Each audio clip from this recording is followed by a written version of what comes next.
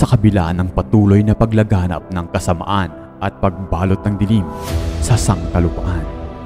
Isang busilak na puso ang isisilang upang maging tagapagtanggol ng buong sambayanan. Inihahandog ng ABS-CBN at Dreamscape Entertainment ang pinakabagong opera na magbabago sa ating mga pananaw. Ang kanyang bawat pagsigaw ay mukha ng pag-asa ng mga pinanghihinaan ng loob at ang kanyang bawat paglipad ay magsisilbing lakas ng kanyang bayang inaapi. Abangan si De Leon bilang Narda at ang pinakabagong Darna ng ating henerasyon, ang mapalad na babae na magmamana sa puting bato na may angking lakas at kapangyarihan na baguhin ang ating mga mundo.